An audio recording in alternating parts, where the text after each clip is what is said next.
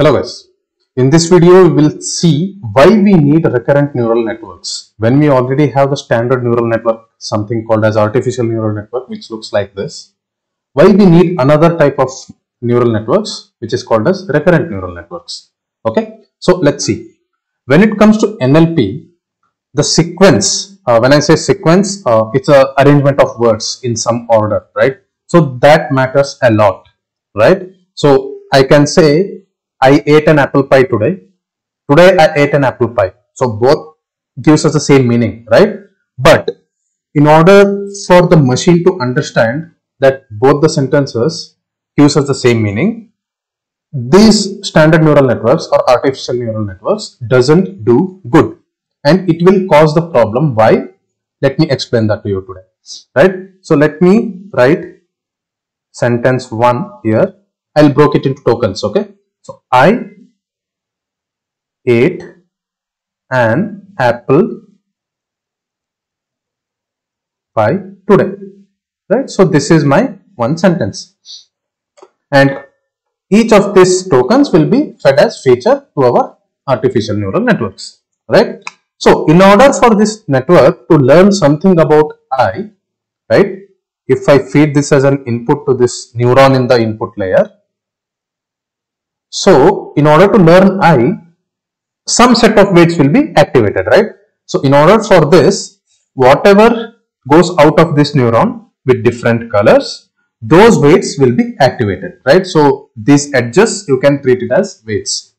Okay? So for i let's say this one this one this one and this one. So these four set of weights will be activated in order to learn something about i now if i change my sentence like this instead of i ate an apple today i'll say today i ate an apple pie today i ate an apple pie.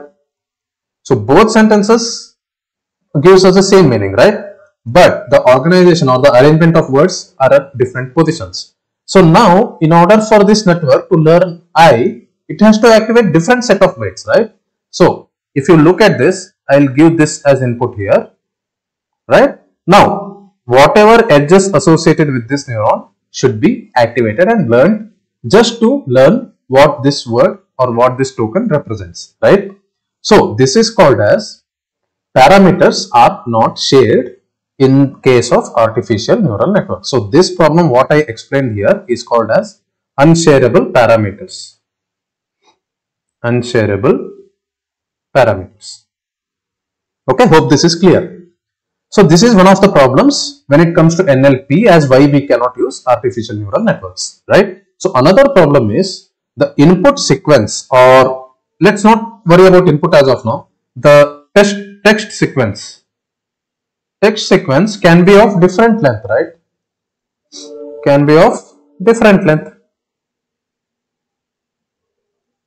okay what do i mean by this some sentence can have 10 words. Another sentence can have as few as 4 words. Another sentence can have as many as 50 words. Right? So when these input when these text sequences or the number of words in the text differs the architecture becomes the problem.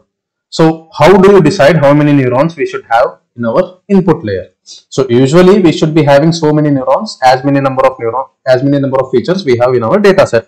But when it comes to different sequence lengths right? Uh, when i say sequence lengths different number of words. So each word will be treated as a feature right? So when it comes to different sequence lengths we cannot restrict the neural network architecture with standard ANNs artificial neural networks to have fixed number of neurons. You can counter this argument stating that okay no matter what the length of the sequence that I get I will fix some 100 neurons in the input layer. Yes you can do that but you never know. A new sentence can come up which has 101 words in that particular sequence. So at the time what you would do? You need to rearrange the architecture again. So let's say in order to counter that also you will say okay i'll have arbitrarily infinite number of neurons in the first layer. Let's say you have infinite memory with you and you will be able to create a, as large neural network as possible but having those many input layers is not ideal when you have those many input layers, the number of weights associated with them will also increase exponentially, right? So when it comes, if you take uh, the count of these parameters in this network, how many are there? So this is W1, W2, W3. So shape of the W1 matrix is 4 cross 5, 4 cross 6, right? So this is 6.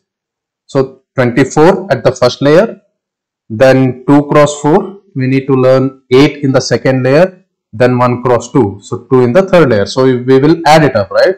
So 24 plus 8, 32 plus 2, 34 parameters we have to learn in this. So just imagine if you have 1000 neurons in your input layer, just for the sake of not utilizing other kind of networks, if you argue that, the number of uh, weight parameter, weights or the parameters that you have to update during back propagation will increase exponentially, which is not ideal. Okay. So this is another problem which these standard neural network, artificial neural networks cannot address. So right now I told you two issues, right? So one is unshareable parameters. I have given a good example here with the same sentence, uh, the same sentence told in a different way, but the meaning is same. So this is what represents unshareable params problem.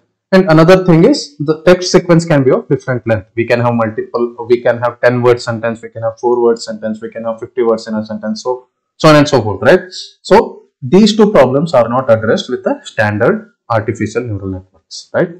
There are some additional things which we need to address, such as when it comes to encoding the words. So you know any ML or DL algorithms, we need numbers as inputs, right? we need numbers as inputs. Correct? But these words needs to be converted into numbers. If we are dealing with NLP right? It needs to be into numbers converted into numbers right? So we have understood some of the concepts involved that is bag of words. We know that. We know what is TF-IDF so we know these two things right so these two things basically concentrate on the word frequency right and then convert them into convert each word into some sort of numbers based on the logic that each one follows. So if you have not seen my videos on bag of words and TF-IDF, please uh, go back to my NLP playlist and you will find first two, three, you will find these concepts explained in my first two, three videos. Okay. So please go back and watch that. Since these are associated with only word frequencies, it has a problem with it, right? So if I, if I say, uh, let's say I am bringing four people with me. Four people with me. Right? This is one sentence. In another case, I'll say I am coming alone. So, if you just read it, it says that total five people are coming. And it says as only one person is coming, that's me. Right? But if you just use bag of words and TF-IDF, this information we can never get out of TF-IDF and bag of words. Our networks or our ML model will never get this particular message. Which particular message? The first sentence is stating that I am coming with four additional set of people. So it will be total five people. And in the second sentence, it states that I am coming alone. And in this case, there is only one person who is coming and that's me. So this kind of meaning will never be interpreted or we cannot pass on this kind of information to the ML and DL algorithms and they cannot understand this, right? With the help of BOW and TF-IDF. You can say we have something called as word to vec. Okay, we have word to vec. There is no doubt on that. So what word to vec does? So this is an improvement over BOW and TF-IDF, but does this address the problems like this? No, right? So what word to vec does? It just creates word embeddings. So what it does, it groups similar words together and the words which give opposite meaning will be separated by a large distance. And how do we calculate the similarity? With the help of cosine similarity, right? So I have explained all this about word to vec in my another video. It has in it has been in two parts, word to vec part one, word to vec part two. So please go back to my NLP playlist and watch that if you haven't watched it. Okay. So now that we have seen what problems we face with the traditional artificial neural networks and the known methods to convert words into numbers such as bag of words, TF, IDF and word to vec. We come and address all this problem with a different kind of architecture and we call that as recurrent neural networks. Recurrent neural networks. Okay. So how does this look like? So before we dive deep into how this looks like and how it works, I want you guys to think of whatever we speak with respect to NLP in terms of time steps. Time steps or you can call them as timestamps. So whatever word or terminology you are comfortable with, you can use it. So I usually use time steps, step time. Okay. So I, I usually use this in my all preceding videos. Okay. Upcoming videos. Sorry. So why we need to understand what the sequence or whatever text that is in NLP with respect to NLP in terms of time step. Why? Because let me take the same example. I ate an apple pie today. Right? And other sentence states, today I ate an apple pie.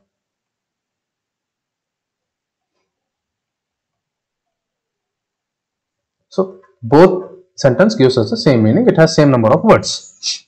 Now, what happens? At first, I will be my first input. So, I will consider this as my input at time 1 okay? 8 is my second input. I'll consider this as input at time 2 you can take this as time ticks. So at first tick i get i. Second tick i get 8 i at third tick i get an. So something like this. Okay? So on and so forth. In the end we get x t x. So what is this tx it will be the length of our sequence length of our sequence or sentence. Okay. So this one I want you to embed in your mind and do not forget to treat each word at each time steps. Okay. So at tick 1 or time step 1 we get one word. At time step 2 we get second word. At time step 3 we get third word so on and so forth. Okay. Now just to introduce you how this RNN looks like. So it looks something like this. So let me draw a block here. Okay. So this will be my x t. These are all my neurons in the hidden layer. And I will have my predictions at timestamp t. And there will be something called as feedback loop which we will feed the activations out of the hidden layers I call this as AT and to start with zeroth time we will have something called as A0 which will be a vector of all zeros. Okay. So this is how a simple RNN looks like. Okay. In my next video, I will expand this RNN into multiple steps so that I can explain you how forward propagation works in RNN. And in my next video to that, that will be the third video we will understand how back propagation works in RNN and why we need back propagation okay? So hope you guys understood why we need RNN or why we need a separate kind of neural networks in order to work with NLP hope that is clear. So if you have any doubts please reach out to me in comment sections. I'll be happy to help you. Uh, another thing if you are liking my content please give it a thumbs up it will help to reach multiple audience so that they will also be benefited out of my teachings right so please subscribe to my channel if you haven't subscribed See you all in the next video. Happy learning. Bye bye.